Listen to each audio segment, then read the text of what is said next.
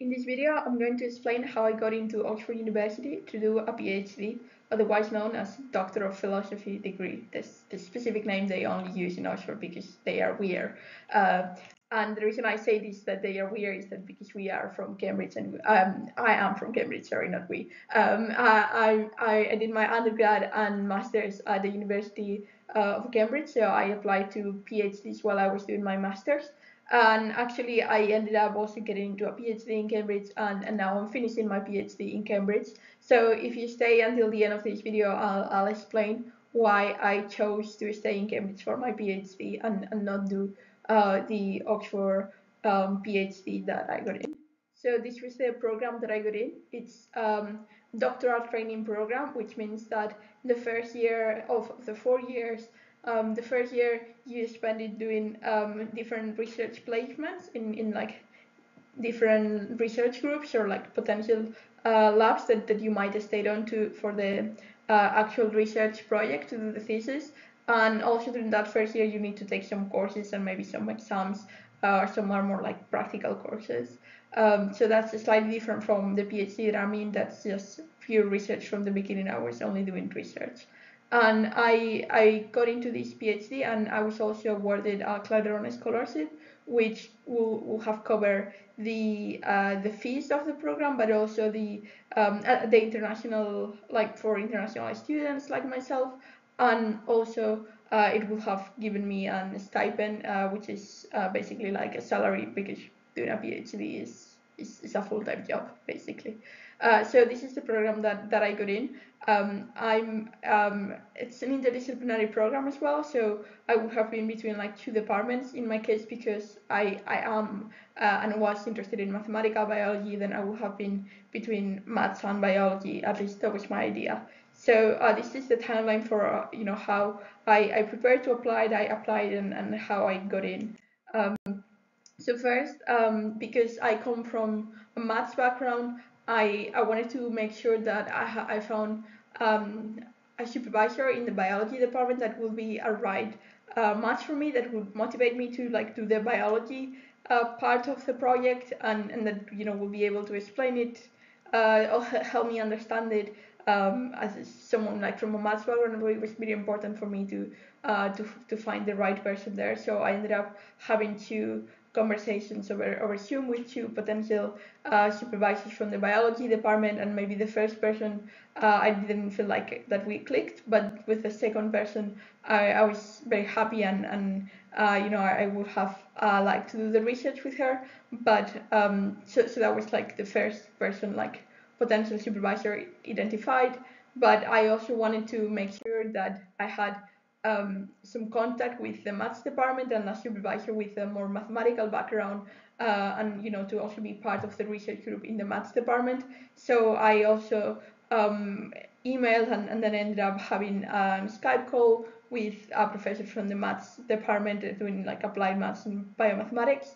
And and that was like I, I really liked him from the beginning and I, I was happy that uh, you know that that um, uh, we could we could work together. And he was also happy for me to um, like also work with the person from the biology department so like to do the joint supervision thing. That was what um, obviously like he, he wasn't giving me a place or anything. He was just saying like yeah if you got in like this would work. This would be like a, a feasible kind of supervisory strategy, even though you know we didn't talk about a specific research projects at the moment, but it was something. It's like an area that you know that uh, we will have on a lot of research avenues that will have worked uh, at the intersection of, of like his research interest and, and the research interests of the um, biology supervisor. So then in January I applied. Um, um, and so this was like a standard application, I guess, where you have to put in personal statement, your curriculum, but also you uh, you need to send in um, like letters of recommendations, like basically like all PhD programs. Uh, you need, uh, I think it was two or three of people who have worked with you in the past, doing research or, or know you academically, and, and people who can vouch for you in in that sense. Uh, so that was in January, basically around the same time as, as the application deadline for Cambridge as well. Um, so in February, I, I, I got an interview. Uh, this was during 2021, so it was uh, online interview. and um, and I was told to prepare um, like a short presentation. I think maybe it was like five minute presentation or like you know two or three slides about um, um, a research project that I had done. So this is something that I had talked about in my application, in my personal statement. Um, so during the summer between like between uh, the academic year while I was in Cambridge in undergrad, I was doing uh, I did some research projects, and so there was one um, that was um, kind of relevant to this topic because it was in mathematical biology. So I had talked about it and, and how that had motivated me to want to do more research on field. And so I was told to told to prepare something about it for the interview. Um, and so I did. And also I was told that at the interview, like there would be like two people. One was like the coordinator of the doctoral training program, and then the other person would be the um, actually like the maths, the potential supervisor from the maths department, whom like with I had already spoken with with him before. So for me that was good to know because uh, I, I knew that I felt comfortable explaining like my project to to him because I knew that from his math background like he will understand it.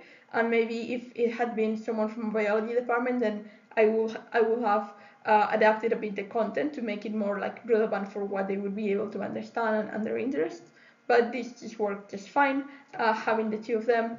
And so uh, that was the first part of the interview. I I don't really remember into like how much detail I gave about it but you know it was within the timeline that they told me like that's very important like when giving talks in general but especially if it's an interview like if they tell you you have a time limit like you do need to be uh, strict about it and, and not overrun it. Uh, and so maybe like uh, after I gave the presentation maybe he asked me a couple of questions about it um, and after that um, then just move into like general questions like maybe you know why why did I want to do that um, interdisciplinary program um, and then also like he got into ask me more technical questions. So I, I think he asked me about the uh, diffusion equation, which is like uh, a partial differential equation that's like really relevant to biology. So I don't remember exactly what in which context he asked me about it, but surely it was something like biological, like I don't know um, how could I use to model something about some bacteria or something like that, and and you know how how to solve it in some situation or something like that. Um, and this felt actually like really nice. I think compared to the interview that I did to to get into Cambridge undergrad, when like they basically they want to find your limits and, and so they ask you like increasingly harder questions uh, and, and until you basically cannot answer. This was much more relaxed. Like I think you know he asked a few questions and sure some were maybe harder than others, but I think it was more like just to check that you know I wasn't lying uh, when like you know I said you know that I had done something on my CV like he just checked that okay yeah like uh, she knows her stuff basically um, and like and, and she can think for herself um, but but it felt like really nice in in that sense um, so so yeah so I was happy I had the interview and then in March I got the offer uh, by email and and then I think maybe on, on the very same email that I got the offer, I was also told that you know that I had secured the funding through this scholarship. Uh, and this is something important that like in the UK, like you can get into a PhD program but without funding, uh, and then the funding like you need to get it like separately. So there are some people who do it without the funding, and it's not really like it doesn't look nice if, if you don't have the funding. Um, I mean, obviously it's it, it's a bad idea like financially, but also like you know, um, it, it, it is harder to get the funding than to get the funding on the place, right? Um, sorry, the other way around. Like, um, it's harder to get the funding uh, than, than not to get it. So, uh, so yeah, I was very happy that, that I got the funding. But anyways, I digress. Uh, I, I got the offer in March, and then um, unfortunately, well, not, not unfortunately, I guess for them, uh, I, I declined the offer in April, and and the reason that I declined the offer, as, as I promised earlier, is that uh, you know I, um, I, I chose to stay in Cambridge uh, for for my PhD, um, and you know I I was very lucky uh, or fortunate that that I had offers from both Oxford and Cambridge and, and another university, and and either of those offers like I would have ha been happy to do those PhDs. Um, but eventually, like I, I decided to stay in Cambridge. I thought it was a better offer for me academically, even though I was a bit tired of living in Cambridge uh, because you know at that point I had been there for like four years, uh, three of undergrad and, and one of masters, and so um, in that sense, Oxford actually would, might have been a good change. Uh, you know, I joked a bit about the beginning about like the rivalry of Oxford and Cambridge, but I'm sure you know when I visited Oxford, it looks like a really nice town, and and, and I've met people from there who are lovely.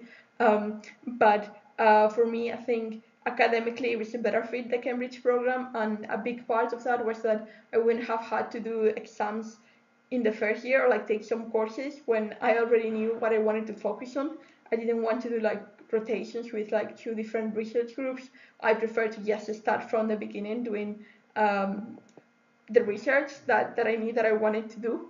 Um, and so that was basically the main reason. Also, I think, um, and this is like very technical, but like within the area of mathematical biology, I think I was more interested in, in the broad research area of my now supervisor in Cambridge than, than in what could have become the project there in Oxford with the two supervisors. Obviously, like I, I think I would have had some flexibility to to to maybe direct in the way that I wanted, um, but uh, I think in in that sense, my supervisor here in Cambridge is more uh, of an expert in in that specific topic that I wanted to do. But yeah, obviously the people there in Oxford, like they, I've, I've read their papers and I like I highly respect them and and, and they're like. Uh, you know, they've contributed to, to my field, and, and I wouldn't be as excited uh, about my field and as happy as I am doing my current PhD, if if not for their you know the, the work that they've done over over decades really. Uh, but yeah, that's why I chose to do the PhD in Cambridge. And and so on that note, yes, I'm I'm currently finishing. I'm I'm writing up my thesis, and and so this YouTube channel for me is like a bit of uh, a downtime or like a distraction from just writing. Um, so I highly appreciate it if you go subscribe. It'll get me motivated to um, to keep doing more videos like this. Maybe when I'm when I'm a bit more busy with the PhD.